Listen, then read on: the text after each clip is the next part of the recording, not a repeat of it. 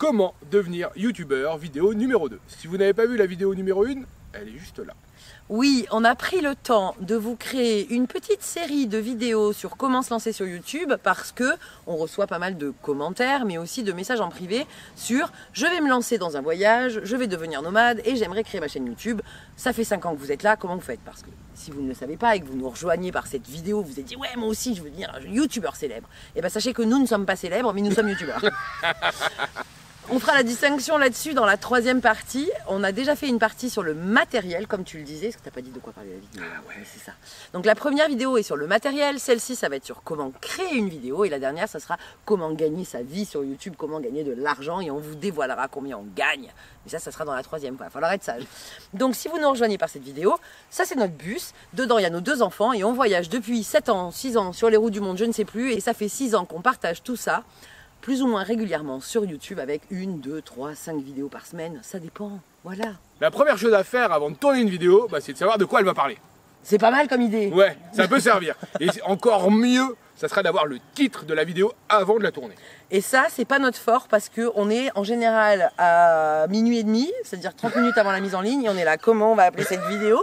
Donc vraiment réfléchir en amont au contenu qu'on a envie de partager, donc à l'histoire qu'on veut raconter, ça on sait. Mais si on a le titre de la vidéo, ça aide un petit peu à faire des intros plus percutantes et surtout à avoir un fil directeur sur quoi filmer. Exactement. Bah, ça va vous permettre aussi de vous renseigner sur ce que vous voulez filmer, ce que vous voulez partager. Et ça, c'est toujours bien bah, de savoir de quoi on va parler. Parce que des fois, on va arriver sur, un, bah, par exemple, nous, dans le voyage, on va arriver sur un édifice, on fait euh, c'est quoi cet édifice? Ou alors, euh, qu'est-ce qui se passe dans cette ville?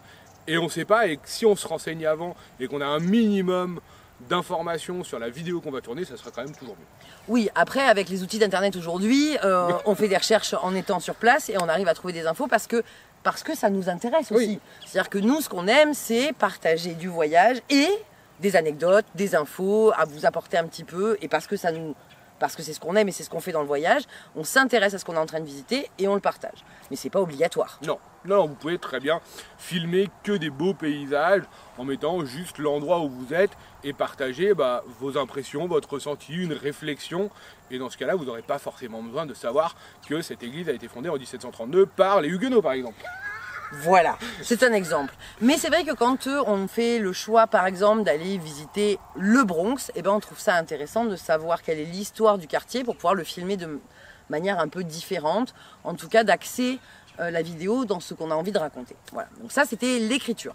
Autre chose, et là où on- aussi on n'est pas bon, euh, là non plus j'ai Ah envie de dire, on n'est pas bon, c'est surpréparer le tournage avec toutes les batteries bien chargées, les cartes mémoire bien vidées. Combien de fois on part du bus et puis il va pour filmer le premier plan de démarrage devant le bus et il fait Ah, il n'y a pas la carte mémoire dans Oh, l'appareil. je retourne au bus. Et des fois, on est très loin du bus. Donc je mets très longtemps à retourner au bus. C'est déjà arrivé Ouais. en Tunisie, à, à non pas à Kérouane, à la ville des tapis. T'as repris le taxi carrément. Ah oui, oui, oui, parce que je crois que j'avais oublié la batterie ou la carte La mémoire. carte mémoire. Non, voilà, et ou, ou alors tu arrives, t'as pas commencé à filmer, et euh, tu te balades, et puis t'allumes, et tu vois qu'il te reste une barre de, De batterie, batterie. et tu cherches dans ton sac, et tu fais Ah, Ah. j'ai pas pris la deuxième batterie. Donc ça, ça se prépare. C'est sûr qu'en étant nomade, c'est plus compliqué. Quand on a un studio, ben, c'est le retour des moutons. Ouais. Si vous n'avez pas vu les moutons dans la vidéo numéro 1, je vous invite à aller la voir, parce que rien que pour les moutons, ça vaut le coup d'aller la voir. Euh, mais voilà, il faut un peu anticiper le matériel qu'il va falloir. Est-ce que des fois, il y a des randonnées, on prend le drone? Des fois, il y a des randonnées, on prend pas le drone, parce qu'on sait que c'est un parc national qu'on va pas pouvoir filmer. Des fois, on a eu pris le drone, et puis en fait, la météo fait qu'on le prend pour rien. Ça se prépare. euh, si on sait qu'on va aller euh, nager, on va préparer la GoPro. Voilà, c'est des exemples comme ça, mais en tout cas, ça a l'air bête à dire comme ça, mais en vrai, sur le terrain, je peux vous dire que ça nous arrive. c'est- arrivé à.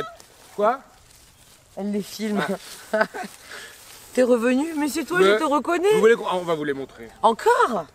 Bonjour, comment ça les, va? les moutons, le retour. Parce qu'en fait, il y a un secret dans le tournage. Petit mouton C'est bon, Daphné. Faut qu'on avance. Allez, oust. Fais attention à mon trépied quand même. Voilà, hein. c'est ça. Euh, c'est ici que je vais le faire, parce que ça sera quand même mieux. Je voulais dire un truc hyper intéressant. Le mouton m'a Dans, dans le perturbé. tournage. Dans le tournage, oui, un de notre secret dans, dans le fait d'écrire les vidéos, c'est que si vous ne l'avez pas remarqué, cette vidéo numéro 2, on la tourne exactement presque, on était à l'arbre là, au même endroit, parce que comme on a écrit les trois vidéos, on s'est dit gagnons du temps, Eh. soyons malins, euh, tournons les trois vidéos en même temps. Ça, c'est aussi un bon moyen d'être plus performant. Si vous êtes en studio et que vous avez votre setup, bah, préparez plusieurs vidéos d'avance. Nous, on le fait jamais parce que bah, avec le vlog voyage, c'est vraiment un autre format et on peut pas préparer la vidéo qu'on va tourner à la Nouvelle-Orléans tant qu'on n'est pas à la Nouvelle-Orléans. C'est ça. c'est même plutôt l'inverse. Des fois, on filme la fin de la vidéo alors qu'on n'est plus du tout là où on dit qu'on était. Ça nous parce qu'on n'a pas préparé la vidéo, parce qu'on l'a pas écrite. Parce qu'on était crevé en fin de journée, et qu'on est dans le taxi, puis qu'on arrive, il fait nuit et qu'on n'a pas envie de faire, eh ben c'était super cette journée, donc on le fait le lendemain. Ça nous arrive. Voilà. Secret de tournage. On leur avoue tout. On- Nous ne sommes pas en décembre, nous sommes euh, en février. Je ne sais pas, c'est faux. non mais voilà, c'est aussi un bon moyen euh, bah, d'être plus efficace quand euh, on veut faire des tutos, de tourner plusieurs tutos au même endroit avec le même setup. Une fois qu'on a mis le trépied, réglé la lumière, là, là, là, on avance, on est performant. Ça c'est vraiment un super. euh, alors que c'est bien de faire deux Ouais, vidéos c'est d'affilée. c'est bien, t'as vu, ta femme elle est pas mal. hein. Alors après je reprends mes petites notes parce que ça sert à ça d'écrire une vidéo. C'est de savoir où on est. Ensuite, on arrive au moment où on tourne sur le terrain, tel des reporters. Ouais. Et là, bah, bien vérifier que vous avez bien branché le micro. Première des choses. Oui, bon, ça, j'en ai marre. Et d'ailleurs, là, ça va, on voit que ça bouge, parce qu'avant, on voyait plus. Mais euh, voilà, vérifier les indicateurs. Vérifiez la on se météo aussi. reprend de la flotte à gogo. On ne sait pas si on va arriver à finir ou si on va retourner sous notre arbre. Euh, ceci étant, une fois qu'on est dans le tournage, on vous disait dans la vidéo matériel qu'il y a plusieurs types de matériel et qu'on peut utiliser le téléphone. J'aime bien utiliser le téléphone dans les lieux publics parce que c'est vrai que sortir le gros- grosse caméra avec le gros micro puis que je fasse ou le gros trépied comme là au milieu de la rue, c'est un exercice quand on commence qui est pas forcément évident. Non, parce que bah, forcément, ça focalise l'attention sur vous de tous les gens qui vont passer. Alors, suivant les villes, par exemple à New York, les gens s'en foutent. Clairement, ils ont tellement l'habitude de voir ça Ouais. que ça les perturbe pas. Par contre, vous faites ça euh, dans un petit village ou dans un, devant un musée ou dans, devant un restaurant, bah, tous les gens ils vont se dire mais qu'est-ce dans qu'il le restaurant, moi je Ouais, peux pas. ou dans le restaurant, les gens, puis il va falloir demander quand même. Et on peut pas non plus filmer partout, tout le temps. Donc ça aussi, ça s'anticipe. On vous disait le drone en parc national, c'est interdit. Euh, ben là, la visite qu'on a faite à l'université à Savannah, pas le droit de tourner. Euh, Harlem, église, pas le droit de tourner. Voilà, donc les lieux privés, ben, on n'a pas le droit de tourner comme on veut. Donc c'est pour ça qu'avec le téléphone, c'est quand même plus Bah, simple. si c'est interdit de filmer, on filme pas même avec le téléphone, monsieur, quand même. Non, bien sûr. Mais voilà, le téléphone est quand même plus simple pour faire du face caméra, pour euh, avoir Dans les lieux publics. dans les lieux publics. Après, la caméra, on va l'utiliser. Moi je suis habitué, je m'en fiche. Voilà. La caméra, on va et l'avantage du téléphone, c'est qu'il est quand même beaucoup plus accessible. Si vous êtes tout seul à filmer, euh, vous pouvez faire comme Antoine de Maximi, avoir des, Des, des des- exosquelettes. des exosquelettes, un peu comme Dr Octopus. Mais sinon, bah, vous allez pouvoir prendre votre téléphone et ça va vous permettre de capturer, comme nous on vient de le faire avec les moutons, des scènes beaucoup plus faciles, beaucoup plus proches des gens qu'avec un appareil. L'appareil il va servir à d'autres choses. Alors, moi, ça me gêne plus maintenant d'être filmé en public, ça me fait même rire. Et ça, c'est souvent l'occasion aussi, comme là Savannah, avec les gens, ça les interpelle. Ou quand on était à l'auditorium, à l'insectarium, euh, les gens, ils viennent nous voir en, bah, en pensant qu'on est des stars. et on leur dit oui, effectivement. Non, mais ça, ça interpelle. On n'a jamais été mal, euh, mal reçu ou mal jugé. Il y a parfois des gens qui ont demandé à ce qu'on coupe parce qu'ils veulent pas être dessus et c'est ce qu'on respecte. Mais voilà, on n'a jamais, on s'est jamais retrouvé avec éteignez cette caméra. Non, non, Non. Vraiment, euh, le vent se lève. Vraiment, toutes les conditions pour ce tournage sont idéales. Euh, mais voilà, donc le tournage, c'est du face caméra parce que c'est comme ça qu'on aime raconter, mais il y a aussi toute la partie b-roll, c'est-à-dire plan d'illustration.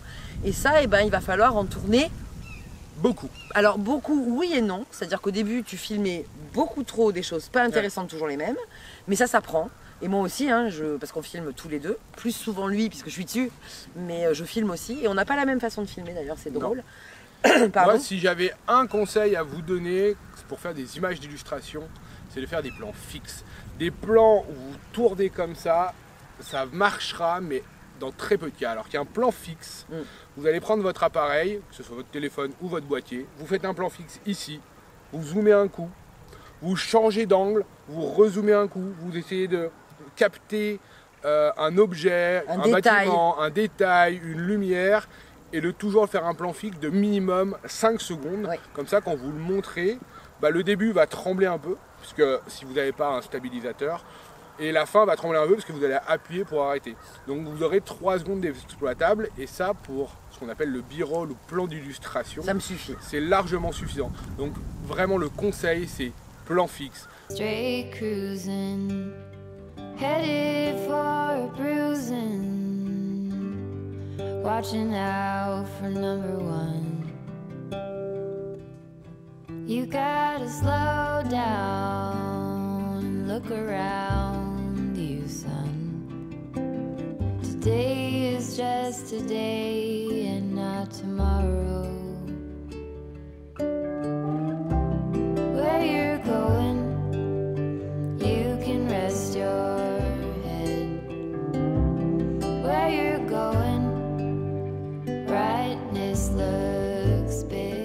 Si vous voulez montrer un paysage, vous pouvez essayer de tourner comme ça, mais en fait, vu que c'est vous le faites à la main et pas avec un stabilisateur, Le bah, fait, rendu est pas ouf. le hein. rendu est pas ouf et suivant les appareils, ils ont des rendus pas géniaux quand Ben, vous moi, je trouve que bah, le téléphone, ça marche très bien. Oui, mais les Mais appareils. les appareils, le boîtier, il est là. euh, Pourquoi tu veux que je filme toutes ces choses avec ces changements de lumière, ces changements de. Vraiment, il n'y arrive pas. Et, euh, et je trouve qu'on saisit beaucoup plus l'émotion. Ne pas hésiter, par exemple, à faire du gros plan, ce qu'on Oui. fait nous en face caméra. Là, on est loin parce qu'on est tous les deux. Mais moi, j'aime bien quand même, euh, des fois, je te filme, ton visage n'est pas en Ah, entier. oui. Ça donne une émotion différente. Euh, si on filme là les moutons, par exemple, on peut filmer tout le troupeau avec les arbres et puis vraiment le, le mouton très très près. Et puis reprendre de la distance. Et puis euh, changer voilà. d'angle. Et puis bouger. Ouais, le, le conseil aussi en tournage, c'est qu'il faut marcher en fait. Si vous, Oui. vous pensez pouvoir tout filmer en étant là et en bougeant pas, euh, quand on fait des randos, bah, Bastien il est derrière, il nous filme derrière, puis il court devant. enfin il court, on, on s'arrête en fait. C'est ça. Mais maintenant qu'on filme depuis longtemps, au niveau du tournage, ce que nous disait hier quand on a préparé la vidéo, Daphné, elle sait ce qu'elle doit faire. Elle sait que quand papa il dit qu'il traverse, c'est parce qu'il va nous filmer, traverser la rue, parce que bah, pour raconter une histoire, on en revient toujours à ça. Ce qu'on veut, c'est raconter une histoire.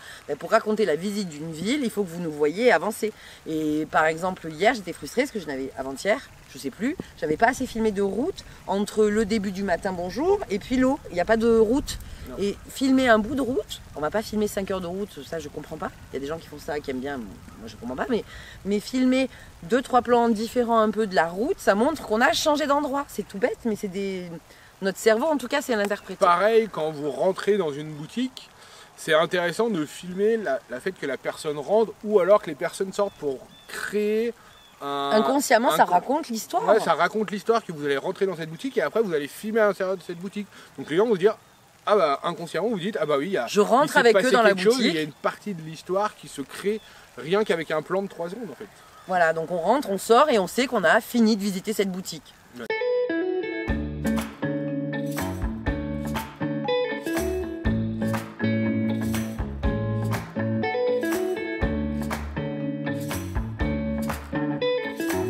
Bon appétit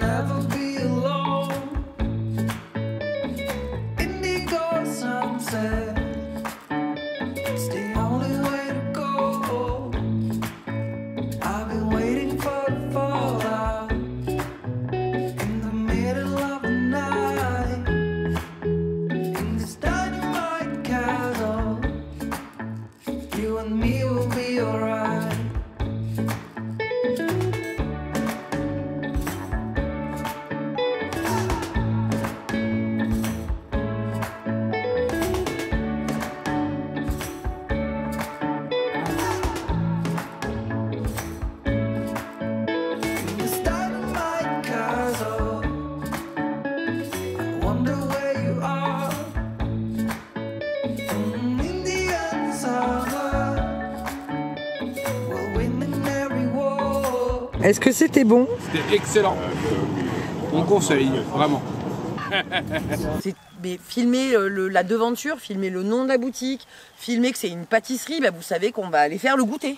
C'est vraiment, il y a des, des- des indicateurs comme ça euh, et qui marchent aussi dans le cinéma. Moi, j'ai regardé beaucoup de vidéos de, de, de cinéastes et de vidéastes qui expliquent ça et prenez le temps. Nous, on va Peter McKinnon, si tu nous regardes. mais entre autres, Olivier Schmitt, que j'ai beaucoup regardé, qui, peut, qui va te dire que bah, pour raconter justement qu'il a visité cette ville, euh, il a attendu très longtemps qu'il y ait un vélo qui passe, parce que filmer une rue vide, c'est terrible. Au début, on veut qu'il n'y ait personne sur nos Ouais, vidéos. alors qu'en fait, non. Il faut qu'il y ait de la vie, parce que quand il n'y a personne, et ça nous est arrivé à Savannah, il y avait personne, puis il y a des gens qui ont traversé, ils ont fait Oh, excusez-nous, non, non, mais vas-y, traverse, mets de la vie dans ma vidéo, parce que moi, j'ai pas envie d'aller marcher là-bas pour traverser, pour revenir.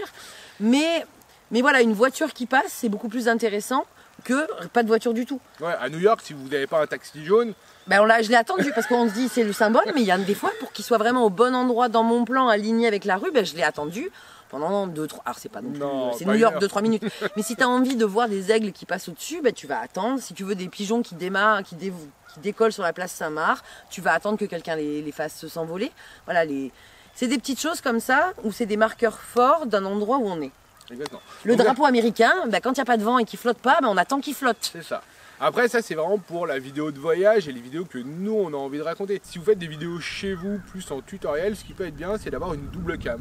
Mm. Parce que, ou, un for- ou quand, si vous faites un format interview et que vous interviewez quelqu'un, le là, changement de plan, ouais. avoir du changement de plan, là, on ne le fait pas parce Ben, que. on l'a fait avec les moutons. Ouais, on l'a fait avec les moutons, justement.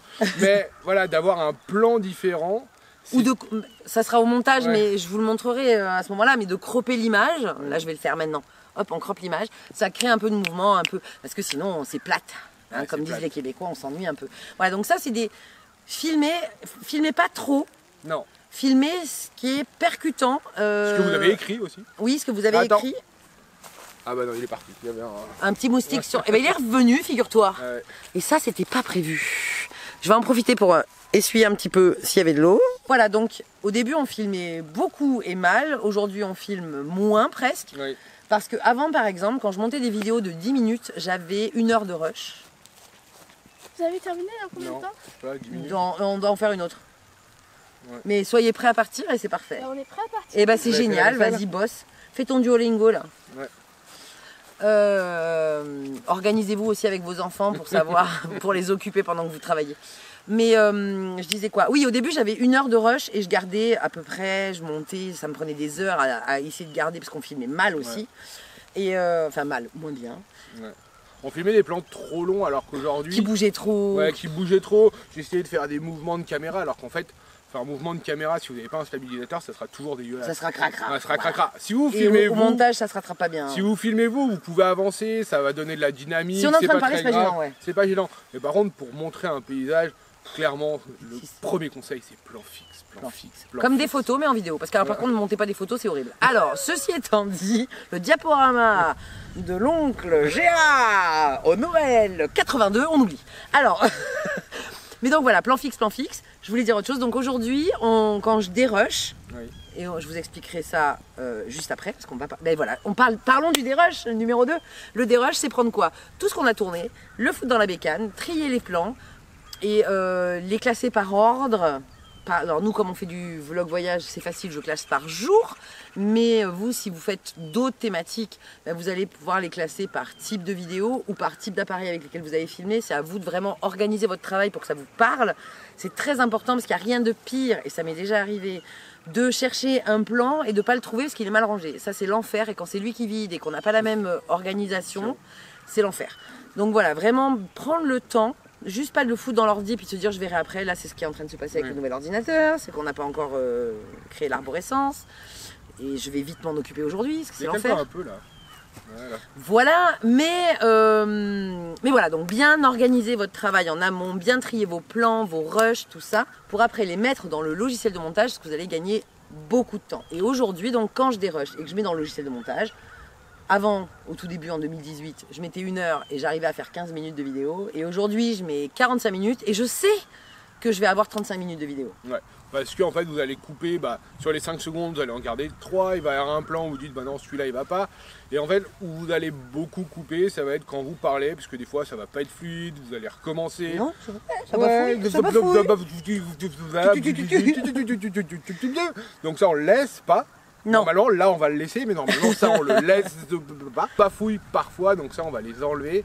Et euh, pour le dérush, je dirais aussi que il peut être bien d'en faire une copie. C'est-à-dire que vous pouvez le mettre sur votre ordinateur et de synchroniser si vous pouvez avec un disque dur externe pour avoir une copie de vos rushs et ne pas vous retrouver si vous faites vos vidéos bah, plus longtemps après ou vous les tournez sur un mois, de ne pas vous dire ah bah merde j'ai perdu, ça a déconné, euh, j'ai effacé. euh, On le fait plus nous, hein, parce qu'on est avec 4 disques durs Ouais, de voilà, nous on le fait plus, mais parce qu'on est en daily vlog et hier, bah, on a mal filmé et la vidéo a été supprimée. On a été obligé de la recommencer. Mais voilà, si on peut vous donner un conseil, c'est d'avoir quand même un disque dur externe, voire même de, de travailler sur ce disque dur externe, mais d'avoir une copie des rushs de la vidéo en cours sur votre PC et sur un disque dur externe.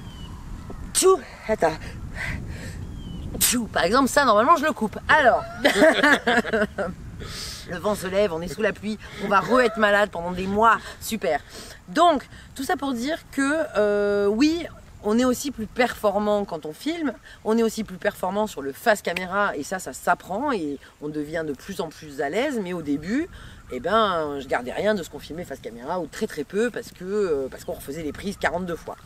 Donc ça aussi, mais au niveau du montage, donc une fois que c'est dans le logiciel de montage, on vous en avait parlé rapidement parce qu'on avait investi dans un nouvel ordinateur. Il existe plusieurs types de logiciels de montage, des gratuits, des payants. Euh, nous, on a changé de logiciel de montage en cours de route. J'avais commencé avec Filmora. Euh, Filmora, c'est un logiciel payant qui est très facile à prendre en main quand on n'a jamais fait de montage, qui s'est Ouais. un peu complexifié pour ressembler de plus en plus à un logiciel professionnel.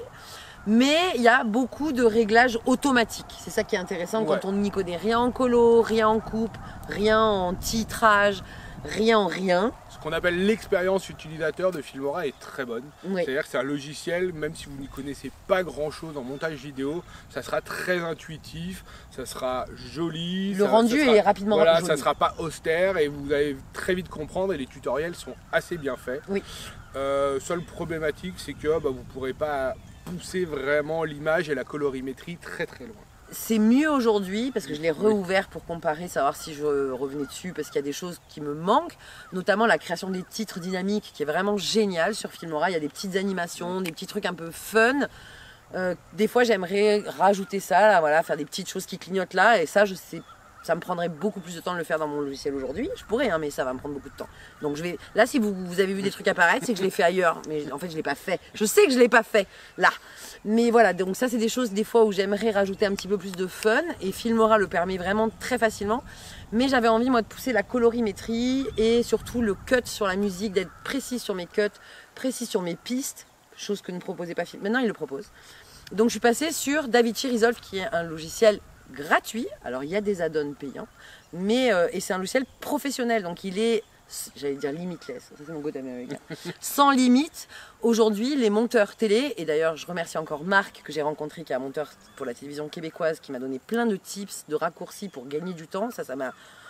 Bon, il n'a pas compris pourquoi tu montais avec un souris et une clavier. Mais, Et sur euh, un seul écran, Mais parce que eux montent sur des bêtes de course avec des palettes graphiques, Des écrans, enfin, des des murs écrans d'écran. géants, mais euh, parce que eux, ce qu'ils cherchent, c'est d'avoir l'image parfaite, Parfaite.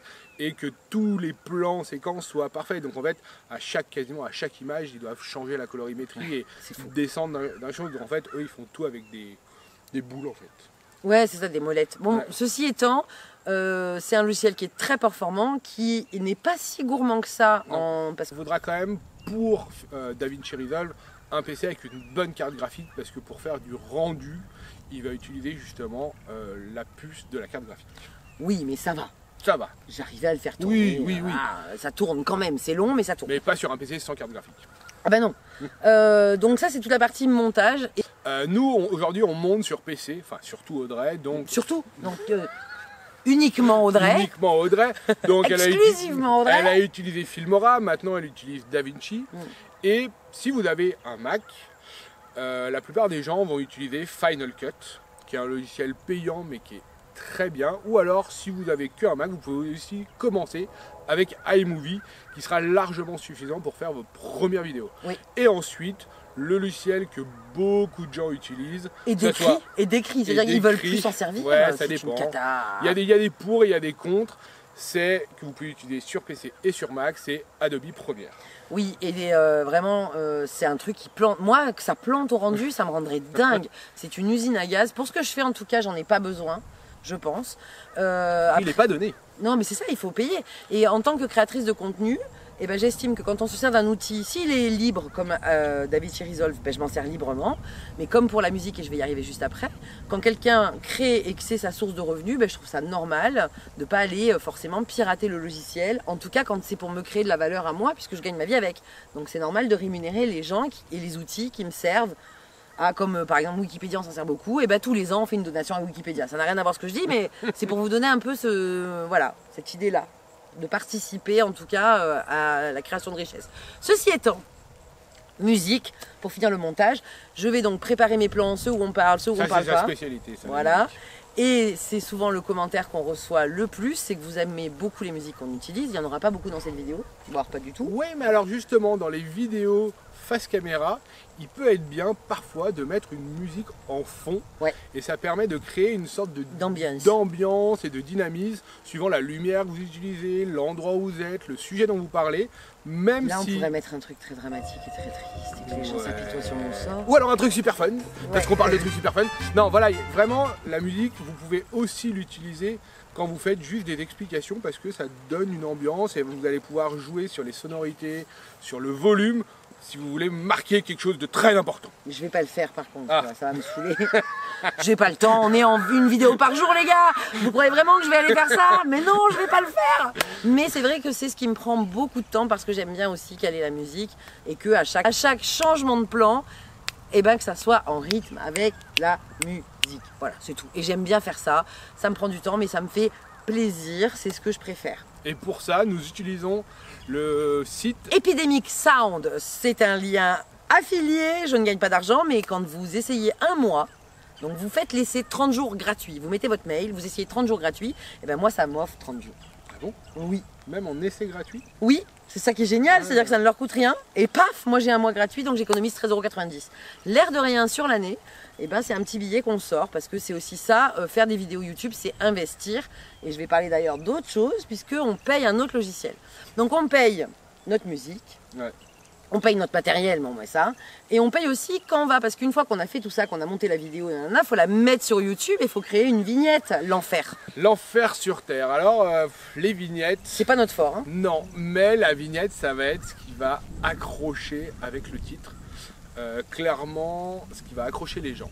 C'est en premier le titre, donc non, vous l'avez déjà pensé au début de la vidéo. Parce que vous êtes géniaux, vous n'êtes pas comme nous. Essayez quand même de faire des titres un peu accrocheurs. On est sur YouTube. Si vous faites, nous allons visiter la, plus belle ville du des monde. États-Unis du monde. Malheureusement, Ah, Peut-être les... que la plus belle ville du monde, ça peut accrocher. Ouais, Mais voilà. la plus belle ville de Poitou-Charentes, ça marche pas. Voilà, les gens vont se dire, on s'en fiche un peu. Par contre, si vous mettez, euh, il nous arrivé quelque chose d'extraordinaire en Poitou-Charentes, Peut-être. peut-être que Et en- ça cliquera mais même plus. enlève Poitou-Charentes. Voilà. Et que si vous faites une vidéo où vous On n'a rien contre le Poitou-Charentes, on vous aime les gens du Poitou-Charentes. Une vignette où vous vous promenez dans la ville et que vous êtes pris de loin et qu'on voit un arbre et une cathédrale. Moins. Alors que si vous faites C'est notre vignette, ça J'étais pas là, excuse-moi, hein. j'étais pas là pour la faire. Non, mais voilà, c'est sûr que des fois c'est frustrant parce que je vais passer, et, et- et en termes de temps, donc on a passé une journée à tourner, Oui. en gros. Alors on se balade, hein, c'est cool, on visite, on fait le goûter, on est avec nos enfants, mais on filme toute la journée où on balade quand même. Alors pas toute la journée, mais quand même. Euh, ben, on se retrouve à avoir filmé au moins une heure, hein, si j'ai une heure de rush. Ça. Plus tout ce que ça comporte euh, autour. De, de- d'avancer, de marcher, de cadrer, de réfléchir, de s'attendre, voilà, donc ça prend un du peu au temps. milieu là. Voilà. Euh, pour vous donner une idée, le temps de tournage, quand on fait une rando qui sur le papier dure deux heures, nous on met trois et demi. Alors je suis lente, mais quand même. Euh, voilà, donc ça prend quand même du temps. Ensuite, il y a toute la partie extraction. Ensuite, j'ai passé 3, 4, 5, 6, 7, 8 heures, ça dépend le type de vidéo, à faire le montage. Tout ça pour que le sort de cette vidéo incroyable se joue sur une vignette sur laquelle vous n'allez pas cliquer. Et ouais. Donc, petite astuce pour faire les vignettes. euh, si Mais vous je la veux bien parce que euh, je l'ai pas moi. hein. Ah bah en fait, faites en fait, prenez un rush vidéo et faites des pauses. Oui, parce que faire une photo où on est bien tout le temps, tout, si on n'est pas habitué à poser, c'est très très dur. Donc Alors en général, que- on se filme, on fait ça, voilà. Non, Et- tu bouges pas, tu fais. Ou Oh alors- Et ça fait une vignette. Et ça fait une vignette. Soit vous laissez l'arrière-plan, soit vous détourez. Donc justement avec le logiciel Canva, il en existe d'autres. Euh, vous pouvez détourer, mettre derrière, vous réduire, vous mettre autour un halo blanc et derrière euh, assombrir la zone ou mettre un flou d'arrière-plan. Enfin, ça permet de faire plein de choses. Vous pouvez mettre un titre ou ne pas en mettre. Il y a des milliers de façons de faire les vignettes. Et bah des fois vous allez faire une vignette et vous dites bon bah voilà j'ai fait la vignette elle va très bien marcher vous comprenez pas pourquoi et des fois vous dites ah j'aime bien cette vignette hein, celle-ci elle va cartonner Et pas du et tout. pas du tout et votre vidéo est dixième sur 10 Voilà. Parce qu'une fois qu'on a fait tout ce travail, on va uploader sur YouTube. Donc pour ça, il faut avoir de l'internet. ouais. Donc c'est pour ça que la Starlink est sur le toit, parce qu'avant on faisait tout avec nos data de téléphone. En Europe, ça posait pas de problème. Aux États-Unis, on a vite été limité, parce qu'une vidéo qui dure 20 minutes, c'est 2 gigas. Ouais, environ, en 1080. N'extrayez pas en 4K, ça ne sert strictement à rien, à part si vous voulez diffuser dans un cinéma ou euh, sur une télé de 2 mètres par 2 mètres. Mais la plupart des gens vont regarder sur téléphone, Sur tablette ou ordi. sur tablette ordi et parfois sur la télévision, et le 1080 est largement suffisant. Oui, le 4K, ça va être si vous travaillez en partenariat avec des offices du tourisme, comme ça peut nous arriver, mais ça, on en parlera dans la troisième vidéo sur comment gagner de l'argent sur YouTube, on va y arriver. Mais voilà, donc l'idée, c'est qu'après, on doit mettre en ligne, donc ça, ça peut prendre entre 20 minutes et 4 heures, 5 heures, 8 heures, 12 heures, ça dépend de la connexion qu'on a.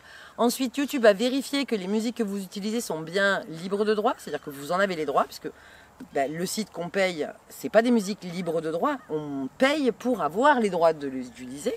Sinon, c'est eux qui gagnent l'argent, en gros. Euh, et il y a certaines musiques du commerce qu'on peut utiliser, mais suivant les pays, il faudra faire attention. Vous ne gagnerez pas d'argent, mais vous pouvez vous faire interdire de diffusion dans certains pays. Ça, ça va être les maisons de disques qui vont choisir euh, quelle musique vous avez le droit d'utiliser ou pas. Donc, prenez bien le temps de vérifier cette vidéo et de ne pas vous faire bloquer dans des pays, notamment le vôtre. Ça serait quand même dommage parce que personne ne va voir votre vidéo. Euh, et puis cette vérification-là, voilà, tout est mis en place, c'est prêt, vous paramétrez, vous faites la description de votre vidéo pour savoir de quoi ça parle, vous mettez les petits hashtags pour que YouTube sache de quoi va parler votre vidéo, pour que quand les gens cherchent sur YouTube, parce que YouTube est le deuxième moteur de recherche après Google, comment devenir youtubeur, c'est comme ça que vous nous avez trouvé, parfait, c'est qu'on a bien fait le boulot des hashtags. Mais euh, voilà, donc tout ça c'est des petites choses à mettre en place et à paramétrer dans votre compte YouTube de votre chaîne YouTube, ça prend du temps. Une fois que vous avez fait tout ce travail incroyable d'acheter du matériel, de tourner, de dérocher, de monter, d'uploader, il faut espérer que les gens soient au rendez-vous et vous regardent. Voilà, ou pas. Bah Ou pas. si tu le fais, c'est quand même. Soyons honnêtes, les gens qui disent oui, moi je fais des vidéos Vidéo pour, moi. Non, c'est Non, faux. c'est faux. Vous faites des vidéos pour qu'elles soient regardées, pour que les gens partagent et que vous gagnez plein de YouTube money. Oui, évidemment que je suis égocentrique et que je me kiffe euh, et que je veux que tout le monde voit ma tête. Non, mais blague à part, si on fait des vidéos et qu'on y passe autant de temps, euh, c'est pour partager avec des gens. Voilà. C'est pas pour partager avec notre famille. Au début, c'était ça l'idée. Ou alors vous les mettez sur Vimeo en privé et là vous les partagez avec votre famille. Dailymotion. Voilà. Ou alors vous faites de la vidéo institutionnelle et dans ce cas-là, bah, vous sautez complètement la partie YouTube. Mais si vous faites ça, vous Il va faites- falloir bien bosser la partie tournage. Voilà, va falloir bosser, prendre des cours parce que c'est pas donné à tout le monde d'être un vidéaste, c'est vraiment un métier qui s'apprend. Ben, Tout à l'heure, je parlais de youtubeurs que j'ai suivis pour voir un peu, donc, dont Olivier Schmitt. Je vous recommande d'aller voir sa chaîne YouTube, évidemment, je la noterai en, en commentaire. Mais on a l'exemple de nos copains, les Coflocs, qui sont pas youtubeurs. Non. Mais qui eux sont vidéastes. Et eux écrivent leurs vidéos. C'est vraiment, ils racontent des histoires et c'est un autre moyen de faire de la vidéo. Il n'y a pas une seule façon de faire de la vidéo. Ouais, on vous mettra le lien aussi en dessous. Évidemment, c'est les copains et c'est eux qui ont fait. euh, Génération Tour, Tour du, du Monde, Génération Génération PVT, euh, euh, les nouveaux nomades Van Life. Génération quoi, voilà. Voilà. Ils ont fait plein de films, ils font plein de films institutionnels pour les régions de France, pour l'Allemagne aussi, et ils font très peu de vues sur YouTube et c'est pas important parce que c'est pas là que sont diffusées leurs vidéos. Leurs vidéos sont diffusées dans des cinémas, en représentation, dans les offices du tourisme, sur les sites internet institutionnels des offices du tourisme, et c'est leur job de créer de la vidéo. Et ça, c'est encore un autre métier.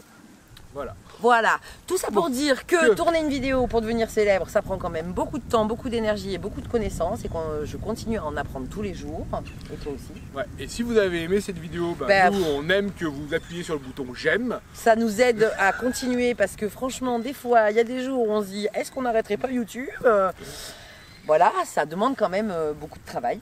Mais on le fait avec passion et on espère que ça se ressent en tout cas dans nos vidéos. Et si vous avez envie de voir la prochaine vidéo bah, qui va parler de comment gagner sa vie sur YouTube, on n'oublie pas de s'abonner et d'activer la petite cloche et de nous dire en commentaire bah, de ce que vous avez aimé dans cette vidéo. Mais oui, qu'est-ce que vous avez préféré? Est-ce que vous aviez idée, pour ceux qui ne sont pas sur YouTube, que, ça, que c'était autant de temps? C'est pas pour faire les peu chers, Non, mais, mais une vidéo, voilà, c'est clairement. c'est une journée de travail. Ouais, c'est une grosse journée de travail. En daily vlog moins là, Ouais, mais. Mais c'est pour ça qu'on triche avec cette vidéo de tuto, parce que vraiment, euh, j'y arrive pas. Voilà. Donc euh, on, a, fait- on a aussi créé cette série-là euh, bah, pour se donner de l'air, parce que ça aide. Voilà, Il y a des astuces comme ça. Ouais. En- Prochaine vidéo, on vous explique à quel point on est riche C'est ça. En attendant, on vous dit à, Riche d'expérience. en attendant, on vous dit à plus. Dans Cactus, le bus. Allez, salut, ciao, ciao, des bisous, salut, ciao, ciao. Hop. Bon, première chose quand vous allez. Non, tu as dit on refait tout where you're going? Truth